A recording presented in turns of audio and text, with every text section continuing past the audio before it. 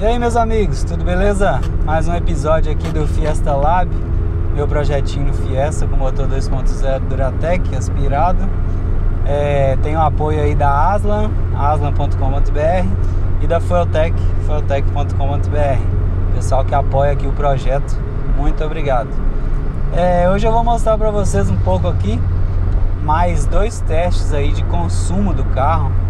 O consumo que eu fiz é, andando no meu trajeto normal de trabalho, de casa para oficina, da oficina para casa, que eu pego aqui essa estrada, uma estrada de velocidade máxima de 90 km por hora, com bastante tráfego, mas é, eu ando 50 km por dia. E é, também fiz uma viagem que vai ser outro, outro teste de consumo que eu vou mostrar para vocês. Eu fiz uma viagem aqui para o interior de São Paulo, para a região serrana, é uma viagem de 400 quilômetros, 200 para ir, 200 para voltar. É, essa viagem eu peguei a Bandeirantes, um pedaço da Bandeirantes, que é uma rodovia de alta velocidade, né, 120 km por hora, mas eu peguei ela uns 40 km só. Depois peguei o anel de Campinas e entrei para a região da Serra ali. E aí peguei várias serrinhas muito gostosas que tem ali umas estradas bacanas muito bem mantida pelo estado e, e que tem uma, um traçado, eu adoro, acho muito legal, principalmente com um carro com, com força igual esse aqui. Então eu rodei isso aí, na ida eu usei uns 20% de ar-condicionado, porque estava chovendo, e na volta 100% ar-condicionado ligado o tempo inteiro, com três pessoas, né? Tava com a minha esposa e com a minha filha, cadeirinha, mala, então foi isso. É, viagem normal, viajando na, na, na, velocidade da estrada mesmo, 120 a 120, 100, lugar de 80 e na serra um pouquinho mais rápido, né? Que a serra é uma delícia. Esse carro aqui e aí você vai, eu vou conhecendo o carro, né? Esse carro é, ele tem essa suspensão dele, é uma suspensão de rosca bem durinha pro dia a dia aqui. Você vê que eu pulo aqui um pouco a estrada aqui ainda é boa, mas para a serra é perfeita, para a pista é top, é, é muito boa. Para a rua, para andar no dia a dia, eu acho um pouco dura, é meio chato, o curso dela é pequeno, então volta e meia você pega umas, uns buracos, às vezes da batente na suspensão e também algumas valetas. Aqui em São Paulo tem muita valeta, às vezes fica uma roda no ar, isso é meio chato. Mas tem esses detalhes, mas é um compromisso, né? É, Pra ter tudo, só se fosse um Porsche mesmo.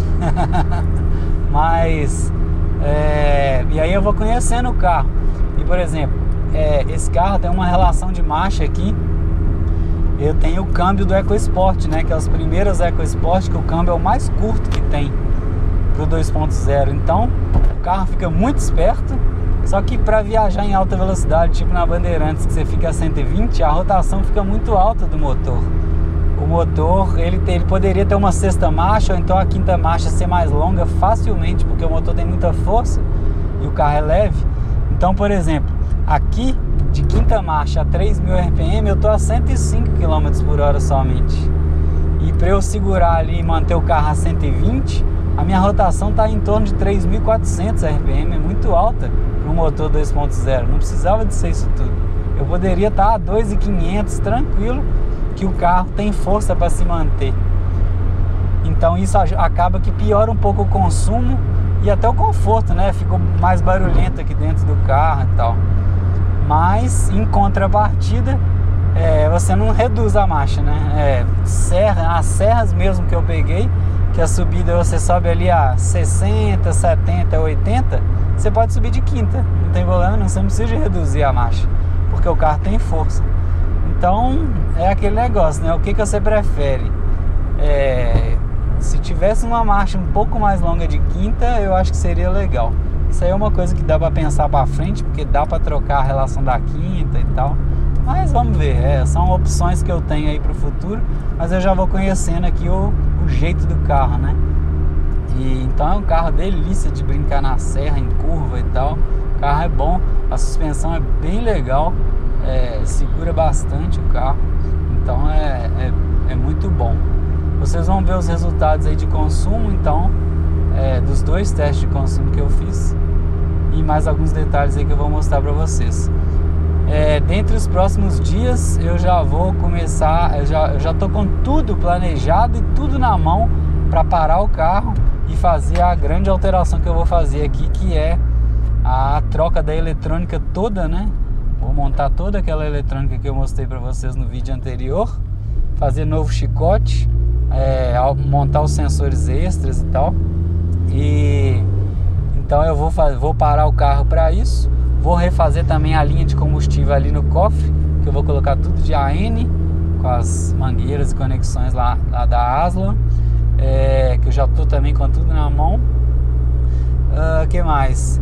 Então vai ser essa parada aí, vai parar uns dias aí que eu vou ficar com o carro na oficina fazendo essa parte e aí eu vou mostrar para vocês o andar do, do, do, do, projeto, né? Andar do, do serviço. É, eu já tô com tudo na mão para ficar com o mínimo de tempo parado possível o carro. Então eu vou tentar fazer isso mais rapidinho possível. E então é isso, é basicamente isso. E aí vocês vão acompanhar aí comigo. Obrigado por ter quem está acompanhando, o pessoal que comenta aí. Valeu, acompanha aí esse episódio. Aí pessoal, acabei de chegar aqui no posto. Vamos ver aqui quantos quilômetros deu aqui na, na Pandu, ó, no, o trip aí. 342,9 quilômetros, 342,9. Não tinha acendido ainda a reserva. Eu já parei aqui, já estava abaixo de um quarto. Vamos ver aí quanto que vai dar de abastecimento aqui de litros, né? Acabou de desarmar. 42,3 litros. Etanol V-Power. Aí pessoal, com a minha companheira aqui. Estamos aqui fazer a conta aqui, ó. Então deu 342,9 quilômetros dividido por 42,33 litros 8,1 km por litro. Muito bom, estou bastante satisfeito aí. 8 km por litro no álcool, andando aqui na, no meu percurso, mais ou menos cidade estrada, com ar-condicionado bem ligado. Teve alguns dias que eu peguei um pouco de trânsito, então estou bem satisfeito aí com o motorzinho. Pessoal, cheguei aqui de viagem, né? E durante a viagem, a viagem foi em torno aí de duas horas e meia que eu fiz aqui.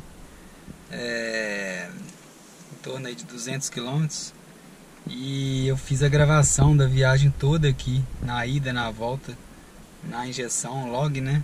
Levei o computador e tal, que é o que eu gosto de fazer, né? Eu gosto de dados, dados, cruzar dados, fazer gráficos, curvas, entender. Isso é o que eu mais gosto de fazer. Então eu estou baixando aqui o log ó, da injeção. Dá para ver aqui. A gravação aqui até encher, eu até diminuí um pouco a taxa, frequência de amostragem, né, do Datalog para gravar mais tempo. É, eu baixei para 20 Hz e aí eu gravei aqui 1 hora e 47 minutos até encher a memória dela. Eu vou fazendo download aqui, mas essa injeção aqui, ela, como ela é um pouco limitada assim, é, eu não consigo alterar as frequências, a, a, taxa de amostragem de cada canal individualmente. Eu só tenho uma frequência para todos os canais do Datalog. E na Fueltech a gente consegue fazer ter uma tabela com todas as variáveis e você pode para cada variável colocar uma taxa de amostragem. Isso é muito legal porque tem algumas variáveis que você não precisa de uma frequência altíssima para pegar os dados. Por exemplo, temperatura mesmo a temperatura ela não altera tão rapidamente a ponto de você ter que amostrar tantas vezes por segundo, né? Essa frequência Hertz aqui é quantas vezes ele pega os dados por segundo. Então, se eu tenho aqui 20 Hz, a cada um segundo ele pega 20 vezes a amostragem de tudo que está acontecendo e grava. Então, é, é essa a ideia, entendeu? E algumas, algumas coisas a gente precisa de uma amostragem muito rápida, né? Por exemplo, rotação, é, TPS, MAP, MAP mais ou menos, mas assim, tem algumas coisas que precisa de ser rápido, é, as manobras de partida e tal. Agora algumas coisas, outras coisas não precisa de ser rápido, temperatura do motor, temperatura do ar, não tem nada que vai fazer com que a temperatura suba, por exemplo, em um segundo suba 10 graus. É, tá, temperatura de escapamento pode, mas temperatura de água, óleo, ar, é muito difícil. Então você pode colocar uma amostragem mais baixa, que você fazendo isso, você economiza a memória da injeção e consegue gravar por mais tempo, né? Então é legal por causa disso. Aqui eu já baixei a gravação aqui, ó. Aí aqui estão todos os canais. Agora eu tenho que ir selecionando aqui, ó. Por exemplo, rotação. Deu para ver que ele trabalha. Esse câmbio é meio curto, né? Ele trabalha aqui muito perto de 3000 RPM. Vou pegar a velocidade aqui, ó. Aí, ó, que faixas da estrada que eu fiquei andando aqui, ó. 101, 102, 105 km por hora, que era o que me permitia a estrada, né? Aqui uma faixa mais lenta da estrada, ó, 60, 70.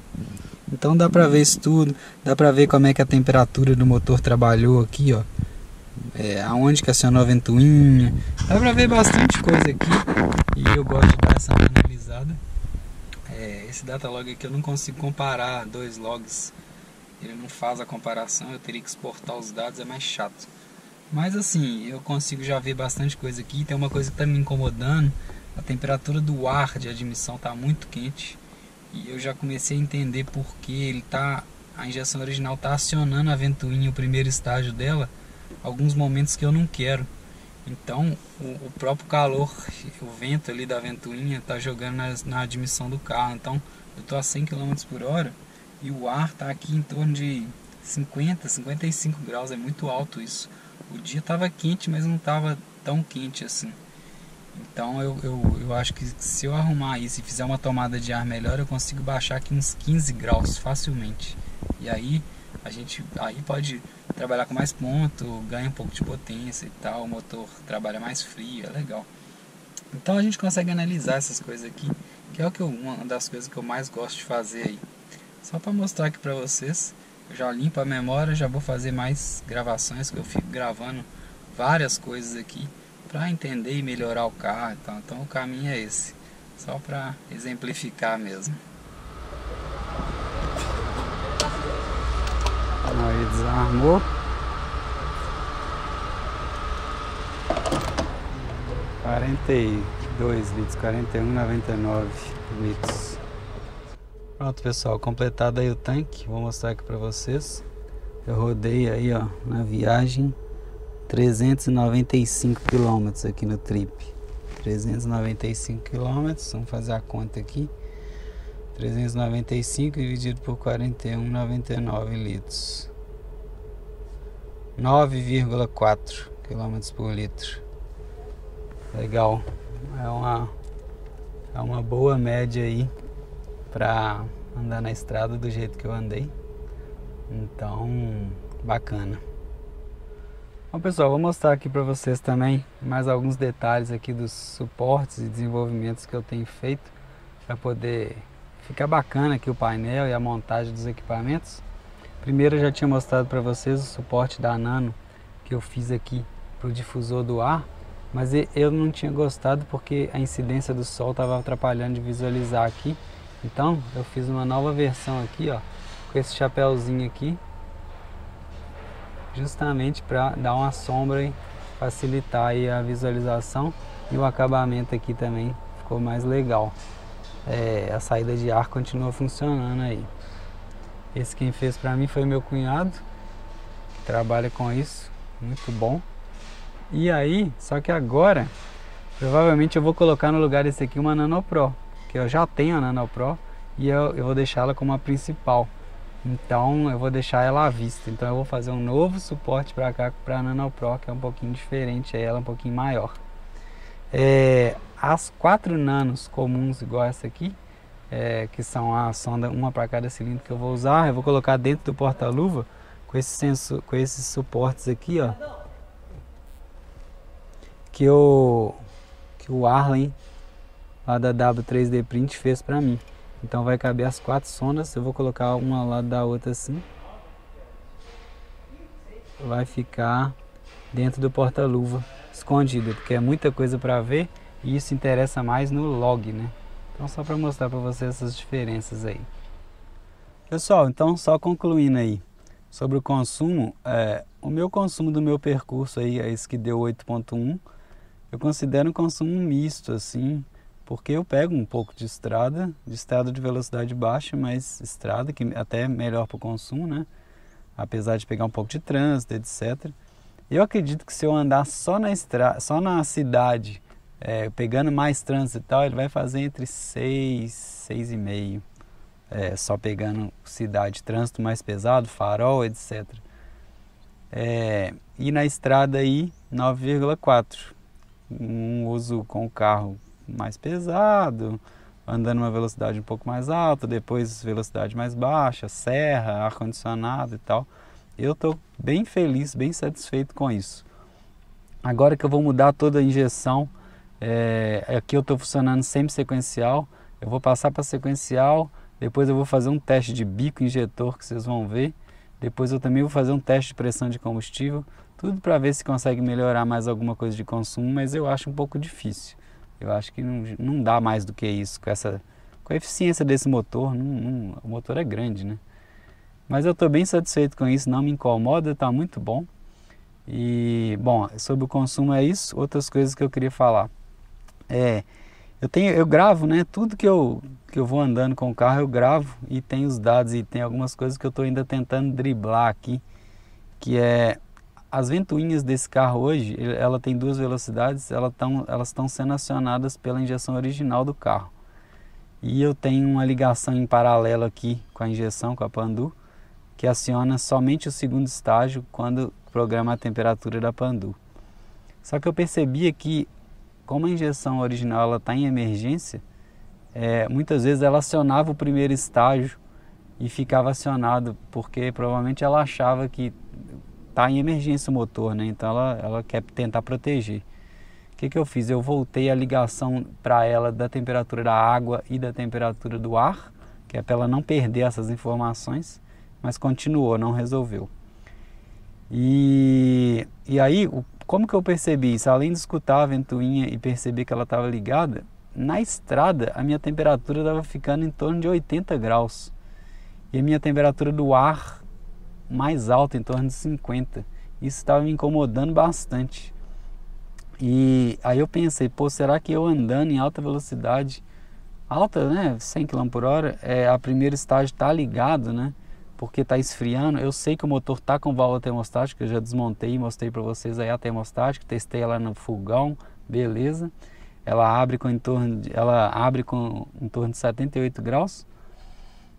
Então, é, isso estava me incomodando um pouco. E aí, o que, que eu fiz aqui? Eu agora eu tirei aqui o relé do primeiro estágio da ventoinha original e eu tô só com o segundo estágio para testar, para eu ver se era isso mesmo.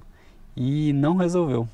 É, ainda continua, agora ele não aciona o primeiro estágio, claro, mas continua o carro trabalhando em torno de 80, 82 graus na estrada. Isso para mim é um pouco frio, eu acho estranho. Para mim deveria trabalhar mais perto de 90 ali. E então não sei se é muito eficiente esse radiador, apesar de ser do carro 1.6, né? Então isso aqui eu ainda estou tentando descobrir.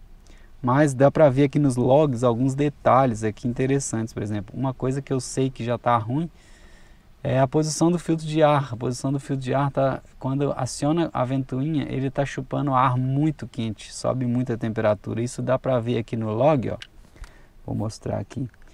É, deixa eu ver uma posição aqui. Esse, esse azul aqui é o acionamento da ventoinha. Então aqui acionou uma vez, depois aqui acionou mais três vezes. Aqui a temperatura da água em roxo. Aqui, ó, mais claro. É, então a água subiu a temperatura, acionou a ventoinha, a água esfriou. Só que aqui a temperatura do ar, dá para ver que imediatamente quando aciona a ventoinha, sobe aqui 47 para 52, 5 graus. Aí desliga a ventoinha, ela cai um pouquinho, aí liga, aí caiu para 48, aí liga a ventoinha de novo, ela sobe para 52. Então isso aqui está me incomodando, porque o motor fica admitindo ar quente aí desnecessariamente, né? E aqui estão as gravações, ó. Aqui é um período na estrada com velocidade mais alta e depois aqui no trânsito. Então aqui na estrada a minha ventoinha, pelo menos o segundo estágio aqui não aciona, tá off. E aí a, a temperatura do motor aqui, ó, trabalhando aqui na casa de 82, ó, 80, 82. Eu acho isso baixo. e aqui no ar 45, também é meio alto. Aí chega no trânsito aqui, onde a velocidade caiu, e aí fica arranque para, arranque para, e dá para ver que a ventoinha fica ciclando, né? Sobe, sobe a, a, temperatura, ela arma e tal, e aí a temperatura do ar também sobe. Mas aí é porque como a velocidade está baixa, além do acionamento da ventoinha, tem que não tem fluxo lá no motor, né? Então isso é uma questão. E aqui dava para ver também na é, velocidade alta aqui ela não aciona e velocidade mais baixa ela ciclando também. E aí aqui com o relé do primeiro estágio, então dá para ver que está a mesma temperatura lá, 80, 82. Né? Então não é isso. Não é isso que está me fazendo. Então isso aqui eu ainda estou para descobrir. Eu já sei que eu vou ter que mexer no filtro de ar. Eu vou até mostrar aqui para vocês é, como é que é esse esquema do filtro de ar, porque isso eu já sei que eu vou ter que alterar. É uma alteração que eu vou fazer logo o filtro de ar está aqui e a ventoinha está logo aqui, ó. E ela é forte, então quando ela sopra aqui é 10, 15 centímetros. Já aí com o capô fechado aqui, joga tudo na admissão. E por enquanto meu sensor de temperatura de ar é esse aqui, então ele pega tudo. Aí sobe muita temperatura, né? Isso é ruim, o motor tem que admitir ar frio. Então depois eu, minha ideia, depois eu vou fazer uma tomada Provavelmente eu vou fazer uma tomada nessa gradinha aqui, eu vou furar ela e fazer uma tomada lá por dentro para poder pegar um ar mais frio aqui.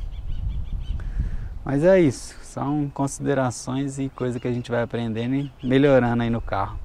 Obrigado por quem assistiu aí o episódio. Até o próximo. Valeu.